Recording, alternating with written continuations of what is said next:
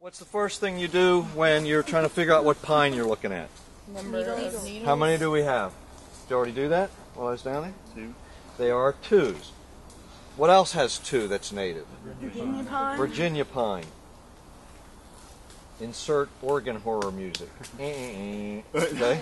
So now you have two with two. So here's the difference. Here's here's Table Mountain pine.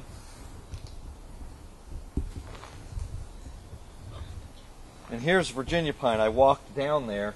There's one Virginia pine right there, and I went down there and got Virginia pine.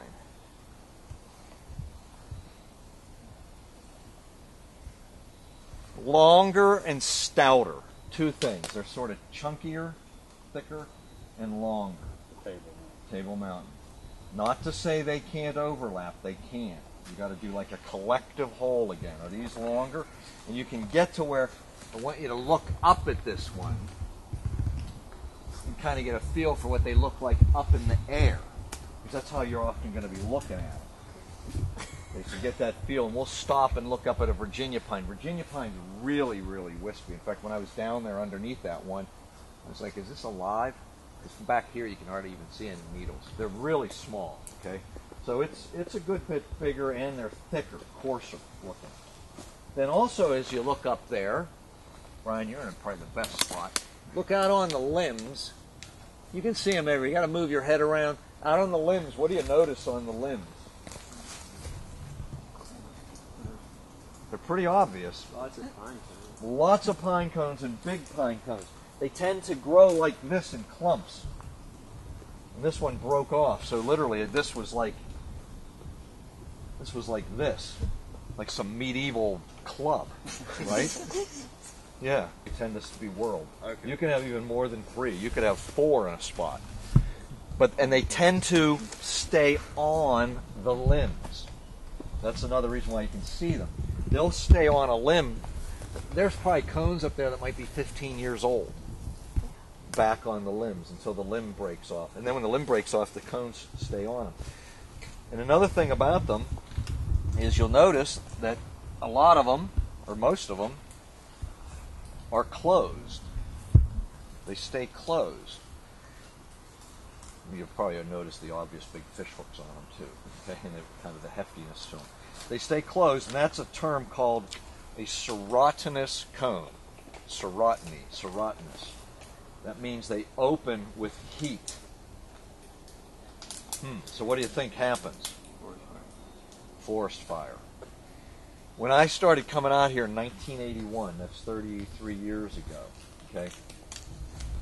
I, mean, I remember it. There weren't any stems on the ground like this. These are all dead Table Mountain pines. In the absence of a fire, they're all going to die at like age 80, something like that.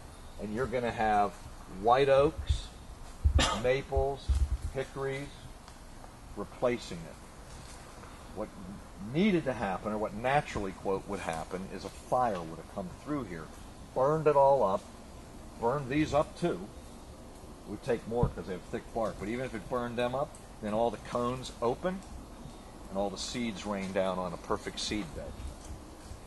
And so in some places in the Appalachians, they're they're letting fires burn. They're doing prescribed burns, meaning, hey, this hasn't burned for a while. We need to light it. They prescribed it to get Table Mountain pine back.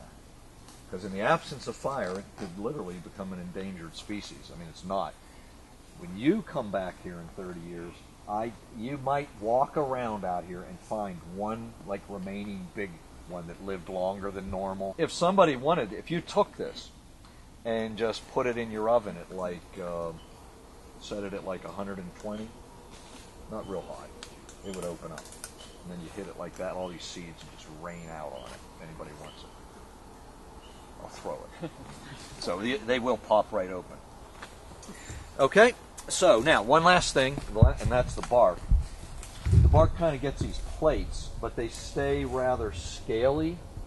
And what I mean by that is like you can flake a lot off.